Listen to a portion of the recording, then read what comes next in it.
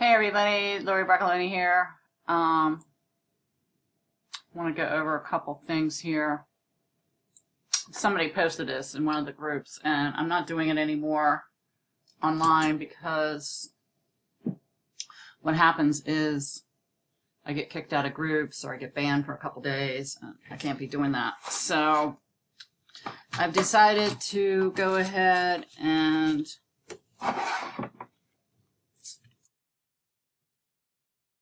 do it and copy what people say so that you can learn um, about how you can take care of your horse naturally.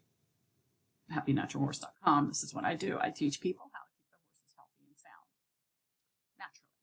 Now, if you want to go and spend a lot of money, then this video is not for you. But this is why horses get sick. So she says she needs some advice. Have a seven-year-old horse. Seven years old. Number one, if you're feeding a horse correctly, you should not have any problems with your seven-year-old. Okay, so I have a seven-year-old mare that hasn't had any injuries that I know of, but I did have the vet look her over a couple months ago and they found nothing. When I asked her to trot, she pins her ears and bites at her right side. She also does this when I'm tacking her up, but the vet said it's normal for them to be girthy and sensitive. And that's bullshit. Okay? There's something going on with the horse. The horse is trying to tell her something, and she is aware of it, but she doesn't know what it is. She doesn't do this when we're on a trail or the last show we went to. Vet didn't think she had ulcers, but I'm concerned that something is hurting her. She does not do this while lunging. Hmm. So, my mare lost a bunch of weight this winter. Oh, okay. So this is this is what she said. She, she was just thinking. But this is one, and then this is another one. And you know, if your horse is showing pain there, I would check the ulcer point um, on the horse, which is right where the belly button is. You just come over, put your hand on the belly button, and where your, let's say you put your pinky on the belly button and where your thumb is, you just press in. The horse kicks at you, then you have an ulcer. You got a digestive issue.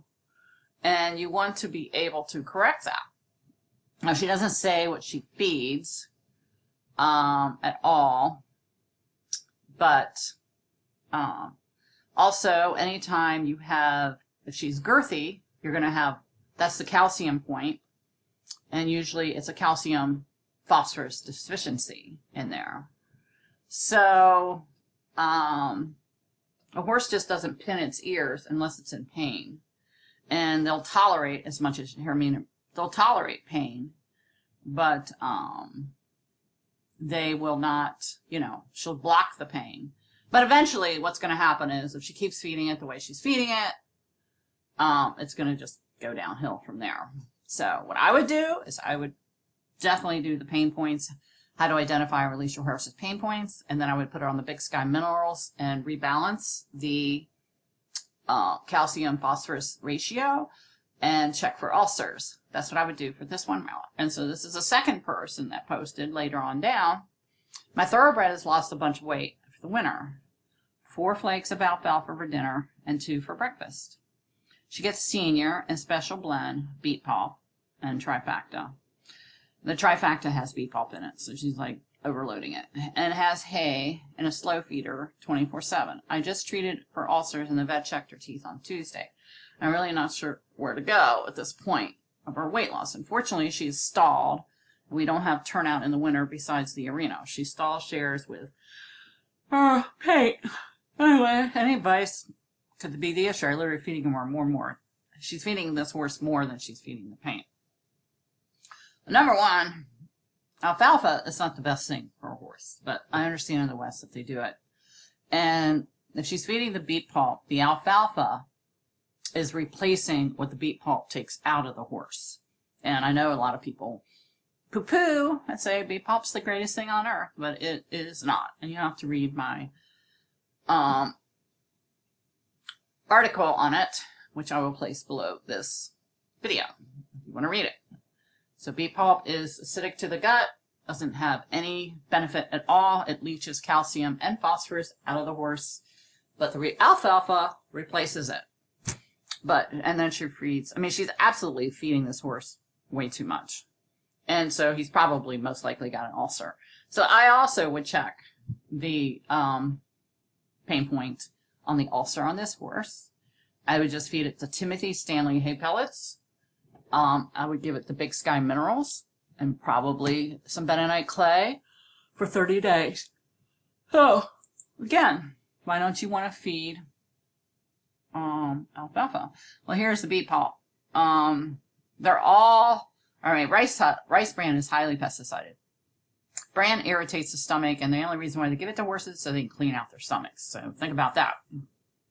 And beet pulp is uh, laden with pesticides. It's a GMO modified crop, so it's sprayed with uh, Roundup. And of course, you know, Roundup doesn't get in there, you know? No, you spray it on, it doesn't get in there. Yeah. It's lacking in nutrients, vitamin A and selenium. And when used as an ingredient, the plier can properly supplement for critical nutrients. It's very high in oxalate, so it binds the calcium. Okay. This is from my book, Natural Equine Remedies. Okay. And then this is from a lady. Her name is Feed Your Horse Like a Horse. She did take this down, but she did say it, and she can't deny it. You're absolutely right. Beet pulp is not a complete feed and must be balanced with the proper vitamin mineral supplements.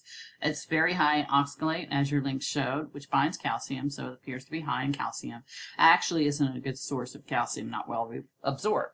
And she got hit because she's well known, and she had to take that down there's an oh i certainly agree that beet pulp all by its lonesome doesn't come close to providing any adequate balanced mineral this is from a vet. Okay great hat grass hay is the only one that really fills the bill being one-stop shopping. Even that is not 100% most of the time.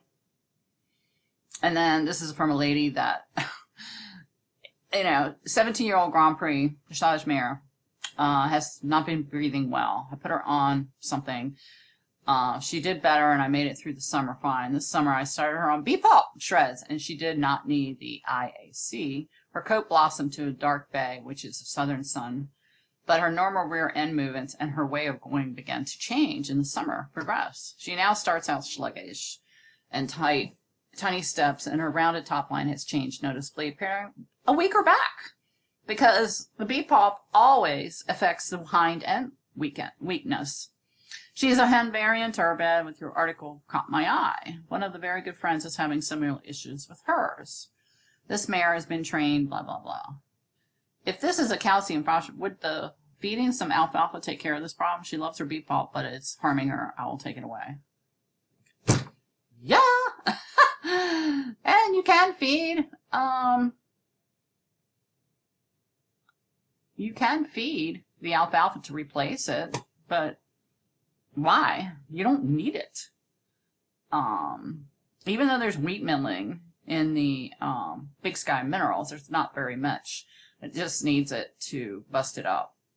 And but wheat middlings is cheap, and it is um, usually in the first ingredient in most um, feed. So especially hay pellets, you want to get the Standlee hay pellets because those are the true one has a strong binding affinity to important minerals such as calcium and iron. When a mineral binds specific app, it becomes insoluble and whatever. But there's only 20 pounds of wheat middlings, and it's non-GMO because the Amish don't do GMO. A lot of people argue with me, but I already called them, and they says no, we don't use Roundup. You know, they just it just busted it up, and I think they took it out because the last time I did uh, got my bags, they were really heavy and they weren't broken up, so they might have to like really cut back on it. You know, you don't want to feed your horse oil at all, but um, I don't think this link works either. Um, I want to get down here to alfalfa. If you look at the numbers, it's very clear that alfalfa, 28, 27% protein. Um, the mare's milk is only 14 and the calcium phosphorus ratio is 6 to 1. It's really bad. It's supposed to be 1 to 1. The ideal ratio for the horse the calcium is 1, 5, 1.5 to 1. So we're taking a double protein quadruple calcium that the horse's body is meant to handle, but he can't. so it suppresses the magnesium in there. And you guys, you know, it's like, read your labels. so uh, too much protein um, throws the intestinal tract and digestive process out of bar- problems. I mean, out of balance, poor digestion, and altered pH. And you have poor digestion, you're going to have a horse that's going to lose weight, you know? Come on, you guys. Come on. When he talks about ammonia in here. Um, way too much protein. If you have, if you smell ammonia in your barn, you have too much protein. Okay? Too much protein in that horse's diet, and you're going to tax the kidneys. Now, let me tell you something. We've had so many people that, I mean, I've had like a horrible, horrible winter with mud and everything. And lately, in the last week, we have not been able to clean out my barn. And it is full of manure and some hay. And I'll tell you, you can't smell any ammonia in there. You can't smell any pee in there because it's all hay pellets. That's all I feed my horses is hay and Standlee hay pellets and the Big Sky minerals. So, you know, get on the bang wagon here, people, and get the book Natural Equine Remedies for now. I'm going to be making another one, but I'm going to just, I'm going to do it differently. I'm going to do it um, just with the ailments, what not to feed, and why horses need minerals. Okay? That's all I'm going to do. And it's going to be like more easier for you guys to understand and where to get it and results from it. So, um, that's my mare before this is, a, I had her for 12 years and she was on commercial diet. And unfortunately, after I discovered everything to keep her healthy, she still came down with COP. But, um, I love my mare and I miss her dearly. And um, this lady here, he's great. I can't thank you enough. What a difference. I took $500 worth of feed out of her barn tack room. I mean, she had so much crap in there. She was trying everything to help her, her horse. And we just went with the Standlee Timothy hay pellets. And the horse is running, bucking, kicking. And he, she never heard him snicker. and he's snickering now. She thought he had a throat surgery. oh. He's back to his old self, of playing with Comment, Boo Fred, with our orange cones, playing tug of war. He hasn't done that in years. He was too old to want to come play around. This is just going on the Big Sky Minerals, you guys. So, um, these are, this is the kidney point. You push in, you push the sideways, and that's the liver point. You push in there, your horse is taxed. But it shows you the ulcer point, but I'm not going to go all the way down. So I just wanted to show you that this is how you feed your horse, people. Get educated. HappyNaturalHorse.com. Leave a comment, share this video, subscribe to my channel. Bye.